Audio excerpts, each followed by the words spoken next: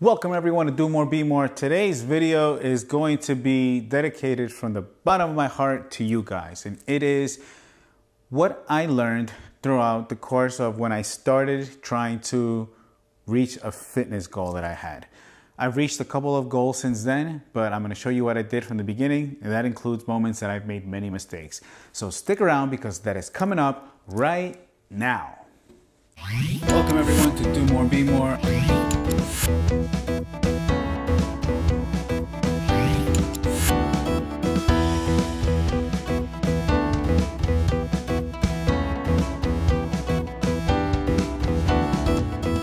I'm gonna do my best to not ramble on, but I'm gonna go on and tell you the mistakes that I've made. So basically, I always thought that to lose weight meant eating foods that are considerably considered to be considered as healthy. So eating salads and eating chicken even was not actually healthy to me. Just eating salads and I had no knowledge, so I just tried going getting a chef salad, which then I found out that can also be bad for you if you're trying to lose weight.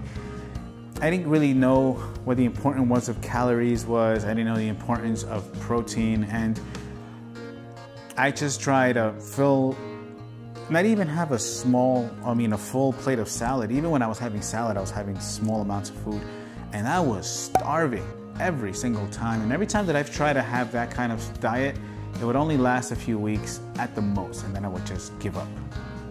And then after that, as far as exercising, I wouldn't exercise all my muscle groups. I would basically just do my shoulder, my yeah, some of my shoulders at some part, my biceps. I would always think my biceps were more important. Um, I didn't really work out my back. Um, never worked out my legs. I considered running the exercise for my legs. I didn't even think of what the difference was between cardio and resistance training or weightlifting for those who don't know.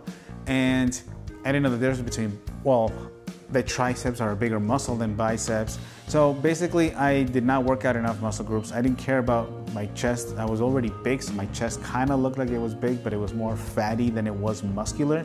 So I didn't give the right muscles the right attention. It should have been all muscles distributed equally, but I did not do that. I knew that I would have to wake up early, four or five in the morning. Um, I would not always do it. I would probably try to wake up. I would either not do it or I would do it and then I wouldn't enjoy it and I would only be able to do it for a few days. And I would join a gym. It was a gym that was maybe not so close to me. Uh, I wouldn't want to go in the winter. And in the summertime, I just wanted to do other things and that just wasn't encouraged at all. Um, I tried to have a, a, playlist, which I ended up getting bored of, and then every time I went to the gym, I thought of the playlist, which bored me, I just relied on too many things other than myself. So it's just not a good mindset to have to associate things that you don't like anymore when you're going to the gym or when you're going to eat something that is good for you. Also, the thought of saying, I want to do, I want to reach a certain weight in a month or two months or three months. And then I thought about programs like P90X. Those, again, those programs are great because the exercises are wonderful and I've done it and I would love to do it again maybe in the future. But when I saw something like P90X, 90 days, you get your peak physique, well, three months you can see results. It's for a lot of people, considering what they want to achieve, you probably can't do it in 90 days. Now, you can try it again. I've seen people that have done it several times and then they reach their goal, which is more realistic but one set of 90 days, I would I was expecting to see the results that I wanted in those 90 days, and I just did not see it. And I think only one time did I get almost close to the 30 days, and I didn't do it. And I gave up before the 90 days because I didn't see the results, thinking though in my head that I would reach the result of the 90 days, and I would give up earlier than that, which made no sense. But what are you gonna do? Another thing is that I believed in cheat meals, and um, for some reason, I believed in cheat meals, but it also made me feel worse. Like the whole idea of having cheat meals is just rewarding myself for suffering, which again, you shouldn't have to suffer through your actual meal plan to reward yourself with something that is probably going to put you overboard. And then I was getting discouraged. So all the motivation that I created for myself was just down the drain.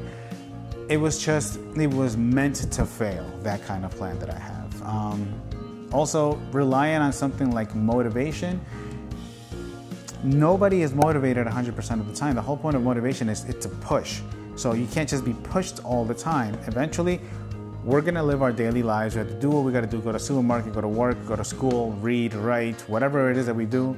We're just stagnant. A lot of part of our life is not that glamorous, it's not that glorious. So motivation is gonna come up and then it's gonna come right back down. Not because it's bad or motivation is just lying to us, but that's just the way that it is. Our motion tends to be in one state, and every once in a while we'll go up, and every once in a while we'll go down.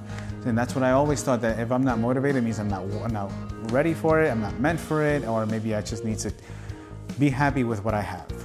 The only thing that I knew that I needed to do is not give up and continue to look for other options.